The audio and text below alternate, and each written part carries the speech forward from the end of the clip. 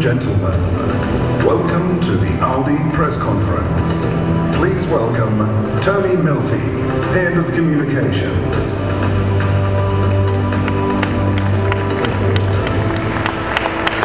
Good afternoon, everybody. As you all know, Audi does things differently.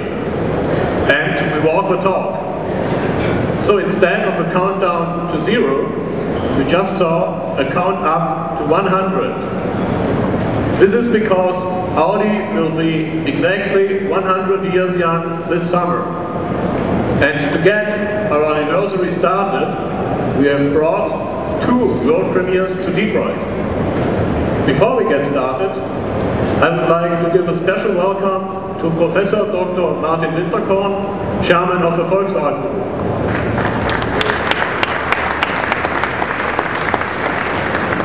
A warm welcome also to the board members from Audi AG and Volkswagen AG.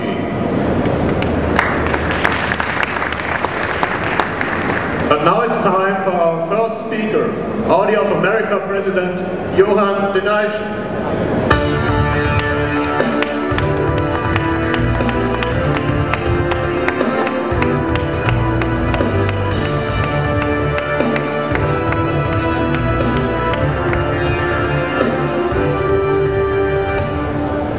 Good afternoon, everybody, and welcome to Audi. As always, the automotive year kicks off here in Detroit. We all face a difficult and challenging year, a year of risks, but fortunately also a year of opportunities. In just nine days, a new face of America will emerge with the inauguration of the country's new president. And whether you call yourself a Republican or a Democrat or an independent for that matter, there's no escaping that through the ballot process, America has taken a progressive step. Is this step the catalyst, or at least a catalyst, to change our, our current fortunes? As the leaders of the automotive industry, and by that I mean collectively all of us here at the Detroit Auto Show, and as providers of jobs and economic stimulus around the world, we certainly are also a catalyst to change. In this role, we must not passively accept these current conditions. We must continuously and actively offer a new vision of change to consumers everywhere. But how should we lead? And what is our opportunity? As Audi celebrates its centennial this year, we can look back at literally hundreds of contributions that we have made to improve and to safeguard mobility. The future, I can tell you, is just as exciting and the contributions just as meaningful, as you will see several today here in our stand and also on this stage. Today, the Audi S4 makes its North American show premiere. The 3-litre charged FSI engine produces 333 horsepower. And this gives the same driving pleasure as a big block V8. But at the same time, the fuel economy is 25% better than the predecessor car. The new S4 will be available in US Audi dealerships in the late summer. Efficiency is also at the heart of our next major initiative, the introduction of Audi TDI Clean Diesel to the US market. As you know, the Audi Q7 TDI will debut in the US in just a few weeks. But the other exciting news is also on the horizon. Later this year, we will launch the Audi A3 with TDI, and you can see that vehicle at this end of our exhibit. Both of these cars featured in the Audi Mileage Marathon, our diesel road trip from New York to Los Angeles, which we undertook in the fall of last year.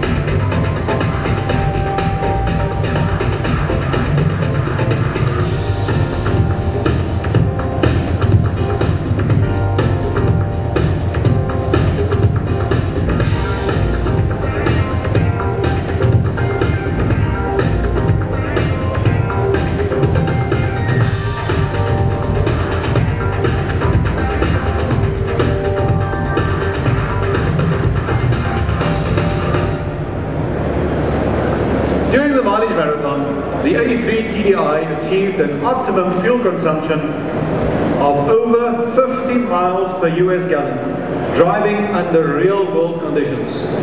And this means that consumers will easily see 40 plus miles per gallon. Imagine that, a versatile, sporty luxury car and 40 plus miles per gallon. And the Audi A3 will be the first highly efficient, clean diesel, compact luxury car in the US marketplace. Audi TDI clean diesel technology is a catalyst for change in America, moving America away from dependence on foreign sources of energy to power our vehicles. And to tell you a little bit more of our vision for the future, please join me in welcoming Rupert Stadler, the chairman of the board of Audi AG. Thank you very much.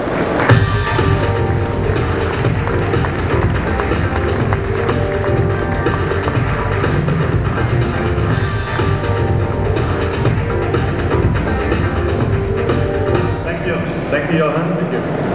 Good afternoon, everyone. During the hundred years that the Audi company has existed, we have contributed many innovations and set really new standards. And today, our best ideas, our Vorsprung durch Technik, seems to be more important than ever. Johan has already mentioned it. In terms of fuel economy, there is no way past TDI. Compared to the standard gasoline engines on sale in America, Audi TDI direct injection diesel engines are up to a 40% more fuel efficient. And they can beat all other, I repeat, all other efficiency technologies on the market. And last October, journalists from 15 countries had the chance to find out for themselves on US soil in the Audi Mileage Marathon. After more than 4,800 miles, Audi TDI clean diesel technology passed its first real world test. Our seven-seater, the Q7 luxury SUV, was able to deliver more than 33 miles per US gallon. Audi TDI Clean Diesel almost completely eliminates the emission of nitrogen oxides, which makes it the world's cleanest diesel.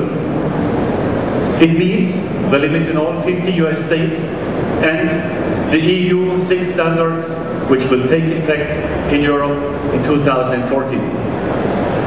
A clear proof that our TDI technology is the right approach and an indisputable technology for the future. TDI will continue to play a very important role in creating sustainable mobility.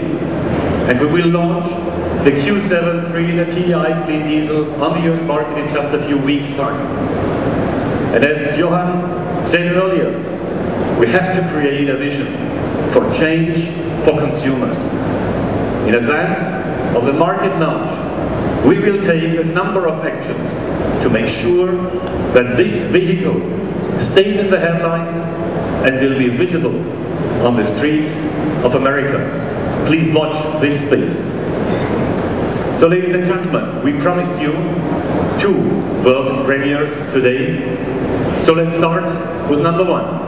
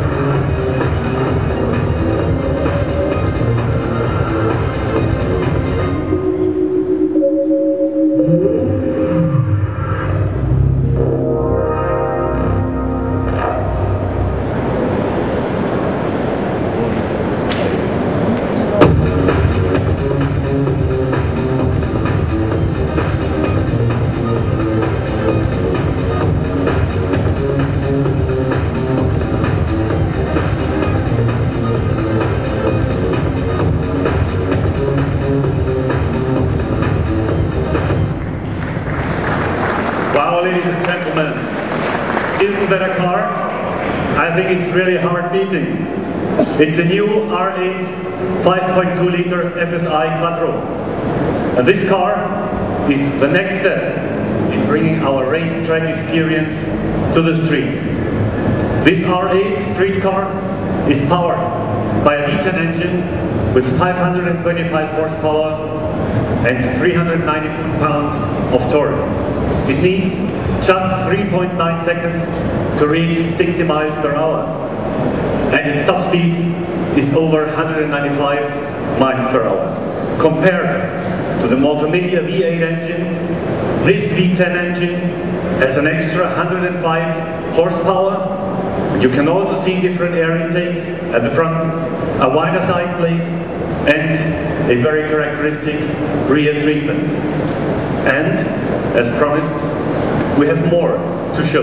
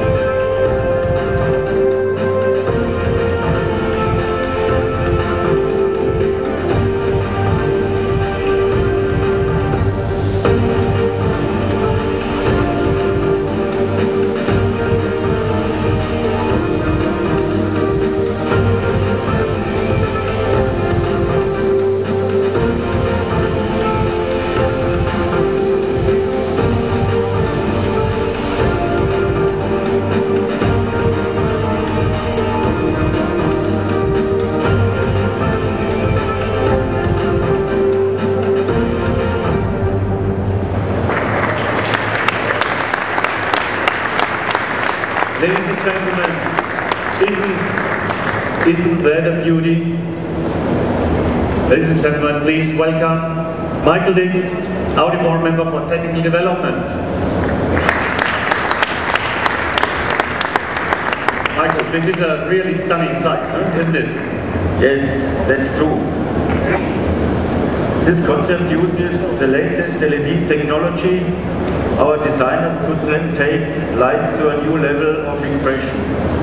And talking of light, there is also a new panoramic glass roof. This means the interior is much more brighter. Sportback means a very sporty and a very functional vehicle. This new Sportback concept takes Audi's design language to a new level. It shows Audi's leading position in terms of design in the premium segment. The Sportback is new, uh, now an essential part of our design vocabulary. We will apply it to another of our current models during 2009 to create the new A5 Sportback. And as you can see, ladies and gentlemen, here today, that won't be the end of the story. Sportbacks will be a cornerstone of our future growth. They will gain an increasing share of our sales worldwide and across different segments. And there is more to this concept car than meets to the eye. Its 3.0 TDI clean diesel engine produces 225 horsepower and it can deliver more than 39 miles per US gallon. And how is that possible on a large car like a Sportback concept? As well as an efficient engine, there are several other elements that improve overall fuel economy.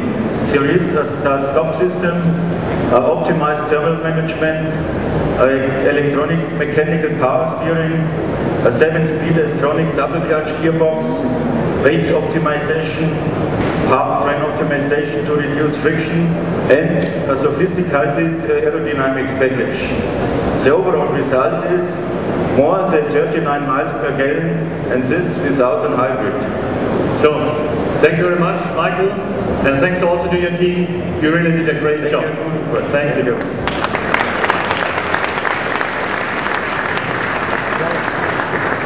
So, ladies and gentlemen, let's now look at the general business for a few seconds. Despite the economic situation, Audi set a sales record in 2008, and not many other car companies can make that claim. This was a great achievement by all our employees and partners around the world. And it was not just any record. It was our 13th record in a row, and for the first time in our history, Audi broke through the 1 million vehicles barrier. And this was a very important milestone on our way to become the most attractive and successful premium brand in the world. This represented an increase in sales of 4.1% over 2007. The new Audi A4 family and the new Audi Q5 were a significant part of this success. So the question is, how will Audi perform in 2009? Well, we are also feeling the effects of the difficult economic situation. There is definitely no best way or single solution to this situation. But there is an Audi way, which is to confront the challenge head on. We will not slow down our program of world premieres and launches. During 2009, we will stage the global launches of no less than six new models, increasing our market share in 2009. That will be an important target for us, both worldwide and also here in the United States.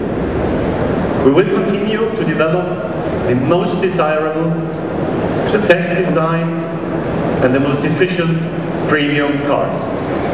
The cars like those here understand the stand, the Audi A3 2-liter TDI, which will enable American customers to experience Audi TDI clean diesel technology in the small luxury car segment. Or of course the R8 5.2-liter FSI, which truly represents the sportiness and the fascination of the Audi brand. And our Sportback concept here, a designed beauty that illustrates what premium and efficiency will mean at Audi in the future. Looking at these cars, which show the potential of Audi, we are convinced that our company can emerge from the current economic situation with really new strengths. So in 1909, Audi started with just 33 staff in Zwickau in Germany. And nowadays, we have more than 55,000 highly committed employees around the world. The passion of our employees has driven our company for 100 years and will continue, that we promise, to drive us forward into the future. Vorsprung durch Technik is definitely here to stay. Thank you very much, ladies and gentlemen.